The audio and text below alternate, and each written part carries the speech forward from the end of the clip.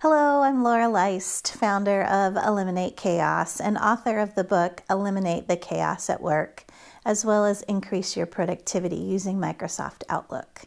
And today, the tip I want to share with you is about how you can quickly folder an email in Microsoft Outlook. There is a feature called Save Sent Items To, and this is how it works.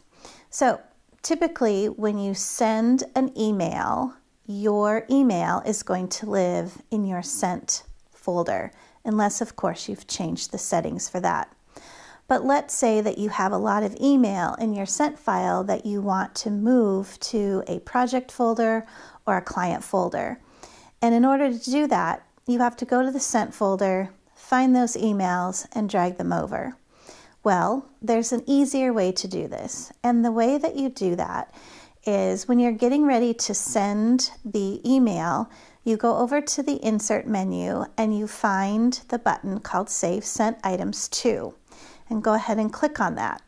Now, the first time that you click on that, you're not going to see any folders in the list because chances are you haven't used it, so the folders aren't displayed. So, what you need to do is you need to select the option that is called Other Folder. And that's going to let you navigate out to your folder hierarchy in your inbox. And so once you're there, what you can do is navigate to the folder, the either the client folder, the project folder that you're working on, find where that's located, and then just click on that folder to select it. Once it's selected, you can go ahead and send your email.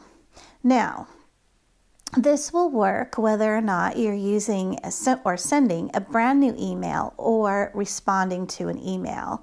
And the great thing about this is is that when you want to go ahead and archive or save that email into a specific folder, you'll just go back to the insert menu, go to the save sent items to button, select that folder again, and the minute that you hit send, it automatically puts that piece of email into the folder instead of your sent file.